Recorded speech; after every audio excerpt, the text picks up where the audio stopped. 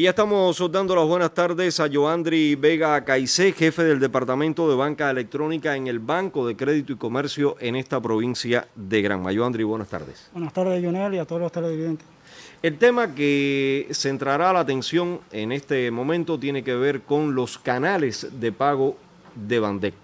Cuando hablamos de canales de pago, ¿a qué nos estamos refiriendo? Bueno, esencialmente nos estamos refiriendo al Virtual Bandec para las personas jurídicas para los agropecuarios y para los trabajadores por cuenta propia. Y el transfer móvil para todo tipo de, de personas naturales. El transfer móvil quizás sea el más conocido, el más popular. Yo le propongo, aun cuando también quiero que hablemos del transfer móvil, porque puede haber alguien que no lo tenga, porque puede haber alguien que no lo conozca o que no sepa de todas las bondades que tiene el transfer móvil, vamos a comenzar por el Virtual Bandec, ¿Qué es Virtual Bandec? Virtual Bandec no es más que una herramienta cliente-banco que permite a nuestro cliente, desde su puesto de trabajo, desde su empresa, realizar prácticamente todos los servicios que normalmente puede hacer dentro del banco. A esto me refiero desde su estado de cuenta, de la consulta de su disponibilidad de saldo, como las operaciones de transferencia, depósito de cheque, pago de los aportes de la UNAM. Ahora, esto lo pueden hacer las personas naturales y las personas jurídicas. En cuanto a las personas naturales son los campesinos y los trabajadores por cuenta propia. Campesinos y trabajadores por cuenta propia. Para hacerlo ellos tiene que ser desde su propia entidad, es decir, un campesino quiere revisar el estado de sus cuentas, un campesino quiere ver eh, cómo va el tema referido al pago de la UNAT y él tiene que hacerlo desde la propia base productiva o lo puede hacer desde su casa si tiene conexión? Él, si tiene conexión en su casa, lo puede hacer incluso desde su teléfono móvil. Si tiene conexión desde su teléfono móvil, perfectamente lo puede realizar. Igual el trabajador por cuenta propia. Exactamente. Así mismo. Ahora, esto es referido a las personas naturales. Solo pueden hacer eh, uso del virtual Bandec como un canal de pago los campesinos y los trabajadores por cuenta propia. En el caso de los trabajadores por cuenta propia, el de todo tipo de actividad. Todo tipo de actividad. Yo te propongo irnos entonces las personas jurídicas, es decir, las empresas, las entidades, los organismos. ¿Qué empresas pueden eh, recibir este servicio del Virtual Bandec? Eh, todas las empresas. el requisito que se exige para eso es solamente tener conexión a la red nacional y el equipamiento de computadora para poder acceder. Es el único requisito que cualquiera de nuestros clientes puede solicitar el servicio de Virtual Bandec. ¿Cómo se solicita el servicio de Virtual Bandec? en los departamentos, en las áreas comerciales de las sucursales, se solicita el contrato, se firma un contrato donde se establecen todas las cláusulas que, que establece este servicio y los roles que se le van a dar a las personas que la entidad decide quiénes son los que van a utilizar ese servicio. Joandri, vamos a poner una pausa aquí en el tema de las personas jurídicas entonces también las personas naturales, para acceder al Virtual Bandec, los campesinos y los trabajadores por cuenta propia, tienen que tener este contrato. Por supuesto. Lo que en este caso es, no es el caso de las empresas, que sí se determinan personas, es el propio eh, cliente, ya sea campesino, sea TCP, el que eh, tiene todos los roles. ¿Este servicio del Virtual Bandec es gratuito o hay que pagar por él? No, se paga 50 pesos mensuales es la comisión establecida para este servicio. ¿Se paga por adelantado? No, mes vencido. Mes vencido. Yo soy trabajador por cuenta propia, no puedo pagar, digamos, estamos en julio, yo quiero pagar agosto, septiembre y octubre, porque así ya tengo la garantía. ¿Eso no se debe hacer? El, cobro de, la comisión es mensual y de forma automática. el sistema automáticamente cobra la comisión mensualmente al concluir el mes. ¿Qué opciones tienen las empresas teniendo en su poder el Virtual Bandec? Eh, como le expliqué ahorita, dentro de, las consultas, el estado de cuenta, eh, la consulta de su disponibilidad de saldo en tiempo real. Y en cuanto a las operaciones, entre otras, están eh, las transferencias bancarias, los depósitos de operaciones mercantiles, los pagos de los aportes de la.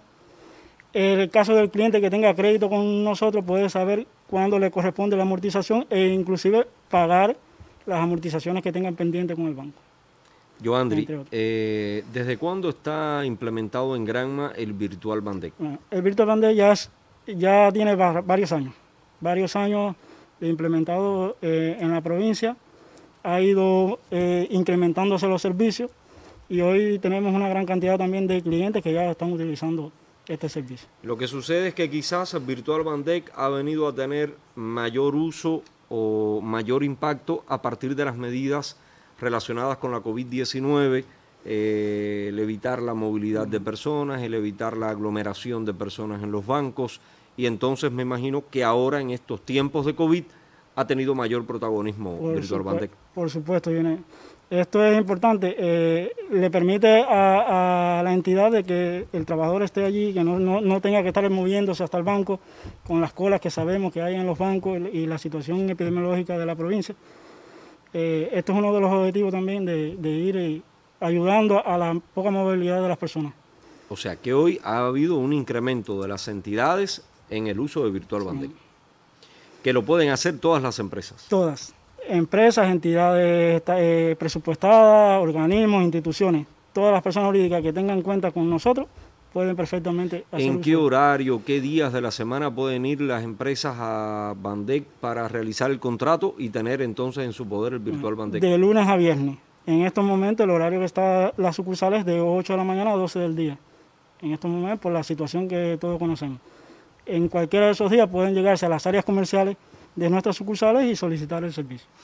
Te decía eh, de dedicarle también un espacio al transfer móvil, pero antes que te quiero preguntar, Joandri, algo más que quieras explicar y que no hayamos dicho referido al virtual Bandec. A ver, solicitarle a todos los clientes que tengan las condiciones, que acudan a nuestras sucursales.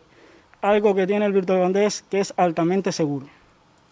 Eh, está catalogado de esa forma y le permite a las direcciones de las empresas, de las entidades, tener un control de sus finanzas y de sus operaciones en el banco, en cualquier momento, a cualquier hora del día. Qué bien. Transfer móvil es quizás eh, uno de los canales de pago más populares que tiene hoy Bandec. Exactamente. Eh, El Transfer Móvil es una aplicación mm, para teléfonos móviles eh, realizada por ETESA en coordinación con los bancos. Eh, todos conocen la- la- las potencialidades que tiene el Virtual desde la comodidad de su casa, poder hacer varias operaciones como los pagos de la electricidad, del teléfono, la recarga de las cuentas nautas, la recarga de los celulares. Y desde junio, del 16 de junio, se incorporó una nueva versión con nuevas funcionalidades, con nuevos servicios para, para esta aplicación. ¿Desde cuándo? 16 de junio, Desde el 16 de junio, es decir, hace apenas un mes. exactamente. Eso te iba a preguntar, porque el transfer móvil hay que irlo actualizando periódicamente.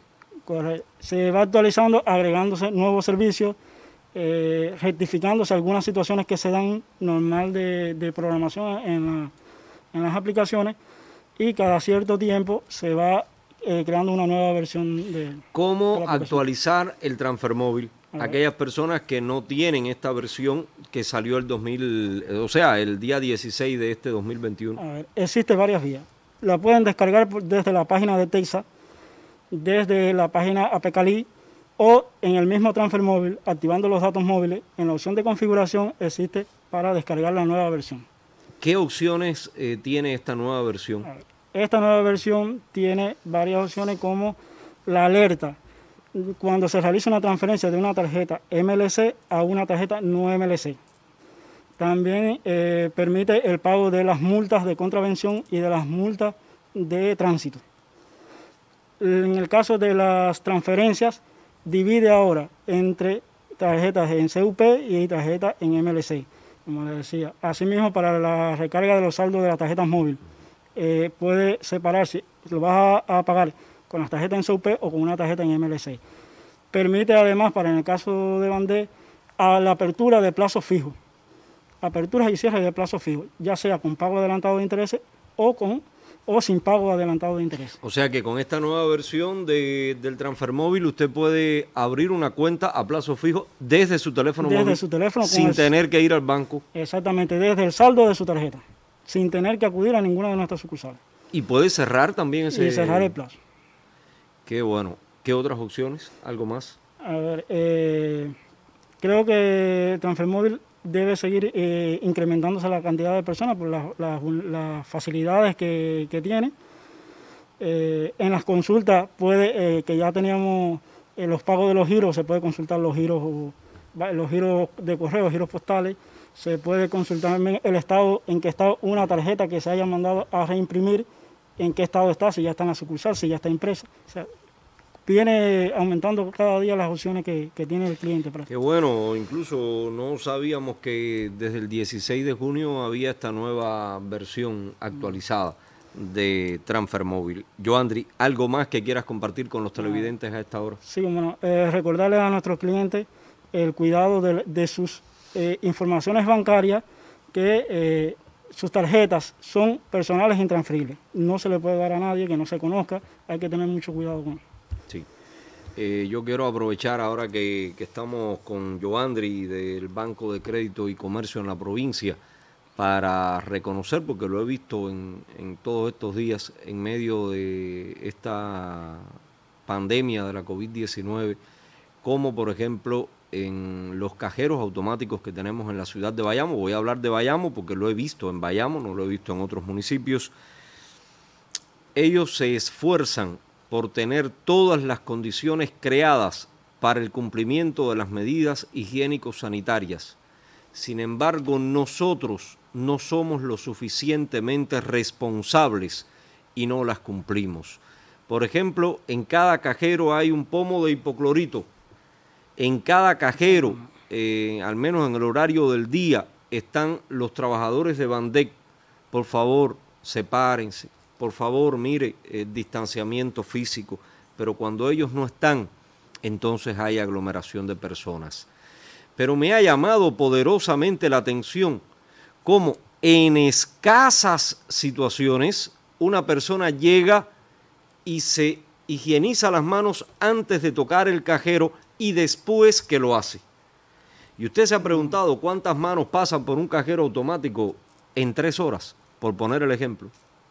Sin embargo, llegan, sacan la tarjeta, la ponen, manipulan la extracción, la transferencia, lo que vayan a hacer, y salen, guardan la tarjeta y venga camino a andar. Y esas manos se pudieron contaminar ahí. Y yo quiero aclarar que en cada uno de esos puntos ellos velan porque se cumplan las medidas higiénico-sanitarias. Nosotros somos los que no las cumplimos. Primero, reconocerlos a ellos, porque están cumpliendo con lo que les toca. Y segundo, llamar la atención en la población que en un cajero automático usted también puede contraer la COVID-19 y se puede enfermar. Gracias, Joandri Vega Caicé, jefe del Departamento de Banca Electrónica en el Banco de Crédito y Comercio aquí en Granma. Hacemos una pausa y de regreso tenemos más.